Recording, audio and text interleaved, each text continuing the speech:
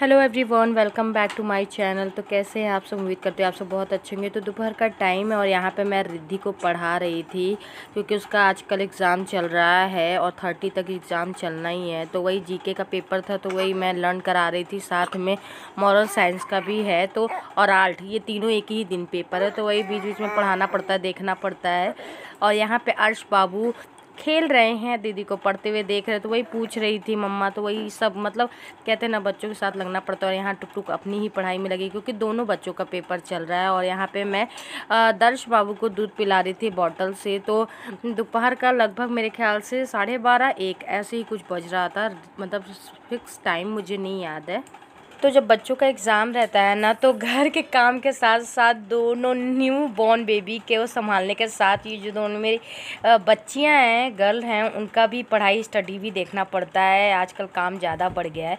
उसके बाद फिर मैं आ रही हूँ, यहाँ किचन में चल रही हूँ दोनों के लिए बनाने, बनाना शेक मिल्क शेक तो यहाँ पर मैंने दूध ले लिया, लगभग आधा लीटर और दो केला मैंने लिया है।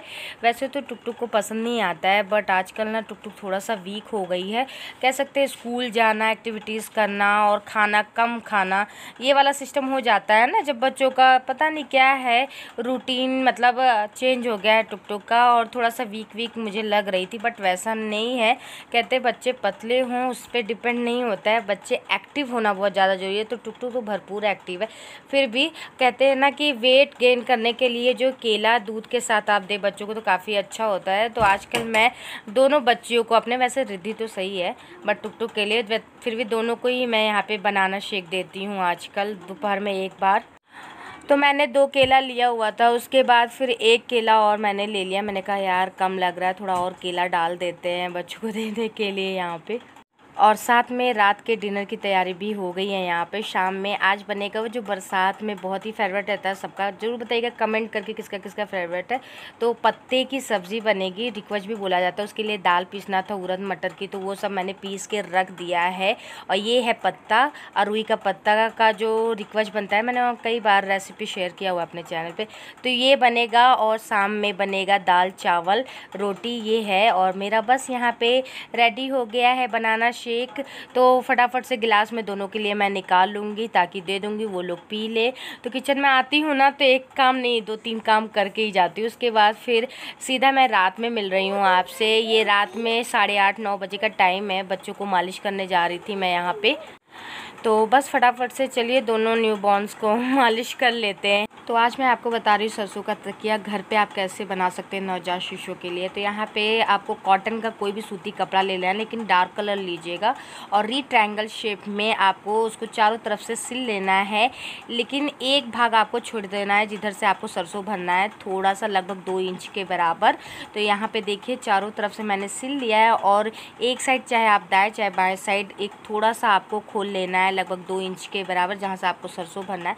वहाँ मैं कच्ची सिलाई चढ़ाऊँगी। अगर आपके पास मशीन है तो मशीन डायरेक्ट सिल सकते हैं अदरवाइज़ आप सुई धागे से भी सिल सकते हैं और कॉटन का डार्क कपड़ा लेते हैं ना तो बच्चों के सर में तेल वेल लगता है ना तो उतना दिखता नहीं है गंदा नहीं होता है।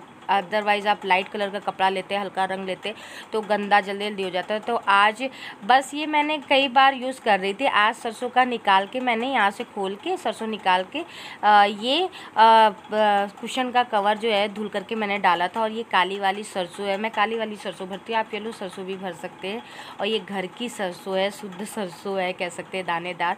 इससे बच्चों का जो सर होता है ना वो गोल बना रहता है कहते हैं। मतलब कई बार बच्चों का सर टेढ़ा मेढ़ा हो जाता है, इस वजह से। बड़े बुज़ुर्ग तो यही कहते आए हैं। तो उस चीज़ को मैं फॉलो करती हूँ। तो फटाफट से जो इधर शायद मैंने खुला छोड़ा दो इंच, वहाँ से मैं सरसों यहाँ पे भर दूँगी कुछ इस तरीके से। तो बस आपको जब भी ये मतलब कवर धुलना हो तो आप इस पर डबल कवर भी चढ़ा सकते हैं। मैंने डबल कवर नहीं चढ़ाया था, इस वजह से वहाँ से खोल के मैंने सरसों पूरा निकाल लिया था और आज धुल के डाला था। तो मैंने कहा, आज मैं भर रही हूँ सरसों का। वापस सरसों तकिए में तो मैंने सोचा चलिए आपके साथ शेयर भी कर देते हैं। तो बस फटाफट से भर लेंगे इसमें सारा सरसों। लगभग दो तकिया है तो आधा सरसों मैंने इसमें भरा है। लगभग इसमें डेढ़ किलो सरसों है।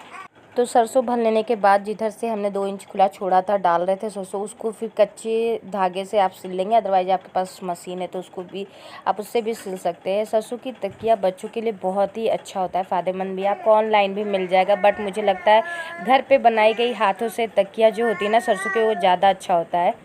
तो ये दूसरी वाला पिलो है तो पहले वाले पिलो में मैंने भर दिया है तो मैंने दो पिलो बनाया हुआ था, क्योंकि मेरे ट्विंस हैं, जैसा कि आपको पता है, देखते हैं मेरा व्लॉग और ये तब मैंने बनाया था जब मेरे बच्चे एक महीने के थे, पच्चीस दिन बीत गया था, तभी मैंने ये तकिया दोनों बना लिया था।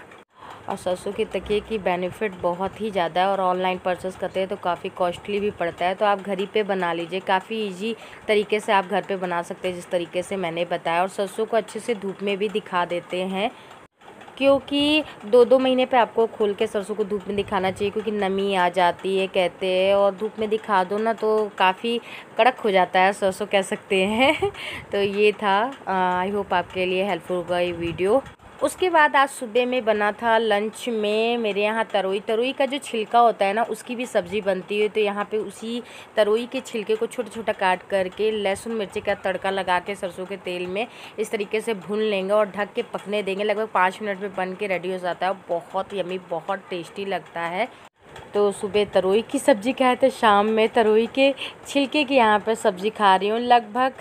रात के साढ़े दस, ग्यारह ऐसे कुछ बज रहा है तो एक को दर्श को मैं लेकर के यहाँ पे बैठी हूँ खा रही क्योंकि बहुत रो रहा था और अर्श को पति देव जी लेकर के बैठे हुए, वो भी ड्यूटी से आ गए थे, खाना वाना सब खा लिए हैं, बस मैं ही बची थी।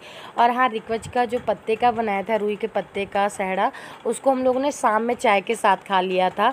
तो इस तरीके से था तो ये है पति देव बैठे हुए टीवी देख रहे हैं और अर्श बाबू को लिए हुए हैं।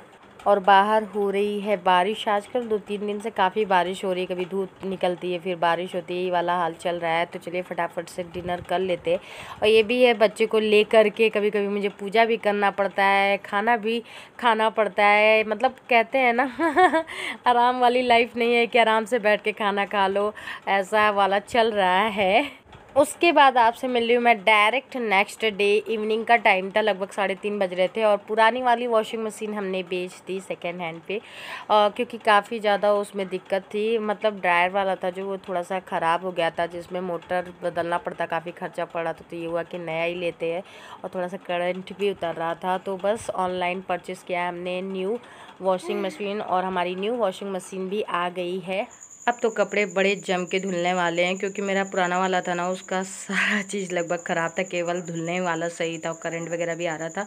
और दो बच्चे ट्विन से कपड़े इतने ज़्यादा निकलते हैं ना, जिसके लिए वॉशिंग मशीन की बहुत ज़्यादा ज़रूरत था तो कुछ इस तरीके से है।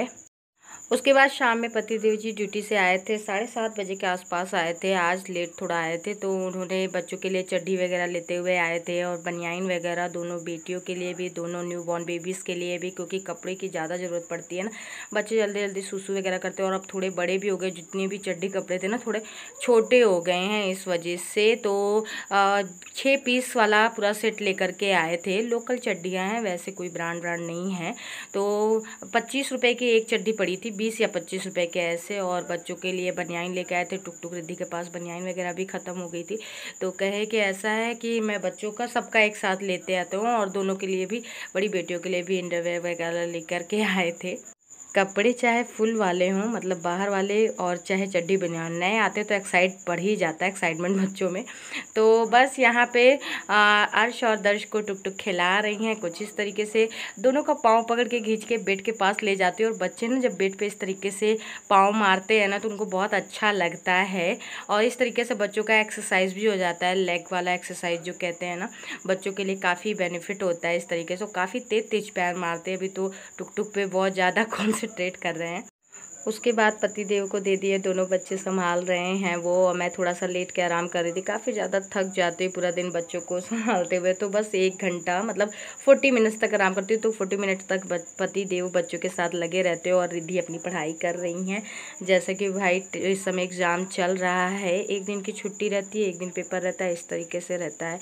पूजा पाठ भी कर दिया है और खाना भी सिंपल भुजिया, सब्ज़ी और रोटी, ये भी बन गया था आज जल्दी। और बस थोड़ा सा पति देव बिज़ी रहेंगे, बच्चों को संभालते रहेंगे, थोड़ा सा मैं आराम कर लूँगी। फिर आपसे मिलती हूँ नेक्स्ट मॉर्निंग आज मैंने भगवान को प्रसाद चढ़ाया, क्योंकि जब मेरी यूट्यूब सैलरी आई थी ना तो मैंने प्रसाद नहीं चढ़ाया था तो मैंने कहा, आज सुबह सुबह नहा धो करके भगवान की पूजा पाठ कर लेते हैं और प्रसाद चढ़ा लेते हैं। तो प्रेम से बोलिए, जय माता दी। माता रानी पे बहुत ज़्यादा विश्वास है मेरा और बहुत ही श्रद्धा भक्ति से भगवान की आराधना करते हुए सब अच्छा अच्छा जाए, दिन की शुरुआत करते हैं। और साथ ही में इस ब्लॉग का एंड यहीं पे करते हैं और आपसे मिलते हैं एक और इंटरेस्टिंग ब्लॉग के साथ। ब्लॉग अच्छा लगा तो लाइक ज़रूर करिएगा। चैनल पे पहली बार है, चैनल को सब्सक्राइब करना मत भूलिएगा। अपना प्यार, अपना साथ इसी तरीके से बनाए रखिएगा। चलिए मिलते हैं नेक्स्ट ब्लॉग में। Bye everyone